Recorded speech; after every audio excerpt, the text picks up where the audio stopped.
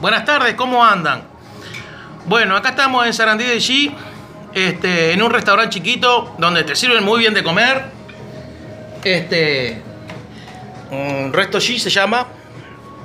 Está por la entrada, por la ruta 6, enfrente al, enfrente al hospital. Es más, donde estoy sentado yo se ve el hospital.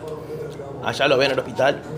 Así que cuando quieran, lleguen por acá, te sirven muy bien, te atienden bárbaro las muchachas, la dueña. Este, y bueno, un lugar más de los tantos que siempre recomiendo en el viaje.